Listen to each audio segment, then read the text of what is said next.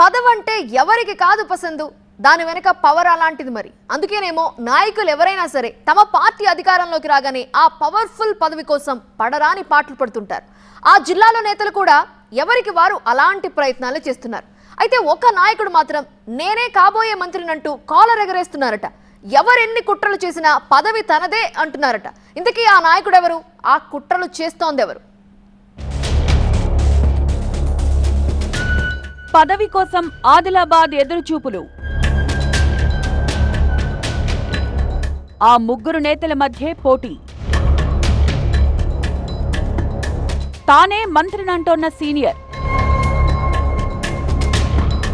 తగ్గేదేలే అంటోన్న గడ్డం బ్రదర్స్.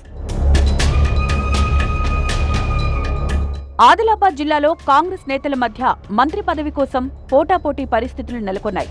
ఈసారి కేబినెట్ విస్తరణలో జిల్లాకు ఖచ్చితంగా అవకాశం దక్కుతుంది అన్న ప్రచారంతో అప్రమత్తమైన ఎమ్మెల్యేలు ఎవరికి వారు తమ ప్రయత్నాలు ముమ్మరం చేశారు.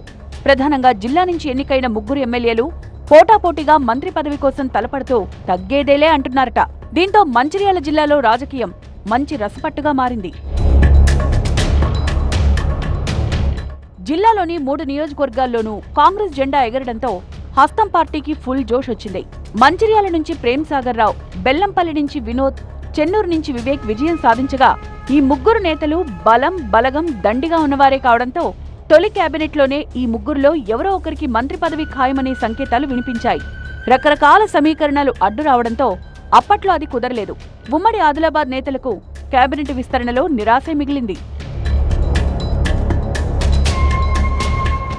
తాజాగా మరోసారి కేబినెట్ విస్తరణపై చర్చ జోరందుకోవడంతో ఈ ముగ్గురు నేతల మధ్య మళ్ళీ పోటీ మొదలైంది. పదవి నాకంటే నాకంటూ లోలోపల కీచులాట మొదలైనట్టు కనిపిస్తోంది. ఒకరి మీద ఒకరు కుట్రలు చేసుకునే స్థాయికి వెళ్ళిందట వ్యవహారం. తాజాగా ఎమ్మెల్యే ప్రేమ్ సాగర్ చేసిన వ్యాఖ్యలతో అది బహిర్గతమైంది. ఉమ్మడి ఆదిలాబాద్ నుంచి ఆ లక్కీ ఛాన్స్ తనకే దక్కుతుంది అని అన్ని రకాలుగా మంత్రి పదవికి అర్హుణ్ణి తానే అంటూ ధీమా వ్యక్తం చేసిన ప్రేమ్ సాగర్ పీసీసీ పదవి సైతం కష్టపడ్డ నాయకుణ్ణే వరించిందని గుర్తు చేశారు. ఇప్పుడు మంత్రి పదవి కూడా అలాగే వస్తుందని చెప్తున్నారట.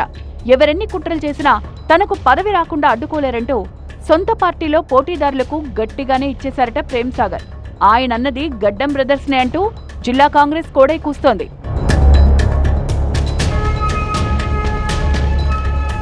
అయితే బెల్లంపల్లి నుంచి గెలిచిన గడ్డం వినోద్ చెన్నూరు ఎమ్మెల్యేగా విజయం సాధించిన గడ్డం వివేక్ దివంగత వెంకటస్వామి అలియాస్ కాకా వారసులుగా మంత్రి పదవికి తాము అర్హులమే అంటున్నారట. ప్రస్తుతం ఉన్న మంత్రుల కంటే తానే సీనియర్ అంటోన్న వినోద్ ఆ లెక్క ప్రకారం తనకే ఛాన్స్ ఇవ్వాలంటున్నారట. కాకపోతే ఈ విషయంలో అధిష్టానం నిర్ణయమే ఫైనల్ అంటూ విధేయత ప్రకటిస్తున్నారు. వివేక్ ఎమ్మెల్యే ఆయన తనయుడు ఎంపీ. ఈ లెక్కన కాకా వారసత్వం కోటాలో తమ్ముడికి న్యాయమే జరిగిందని మంత్రి పదవి విషయంలో ఫస్ట్ ప్రియారిటీ తనకివ్వాలని పార్టీ హైకమాండ్ కోరుతున్నారట గడ్డం వినోద్.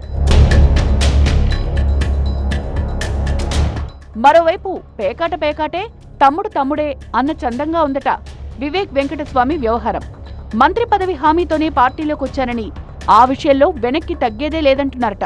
హైకమాండ్ న్యాయం చేస్తుందన్న నమ్మకం ఉందంటున్నారు.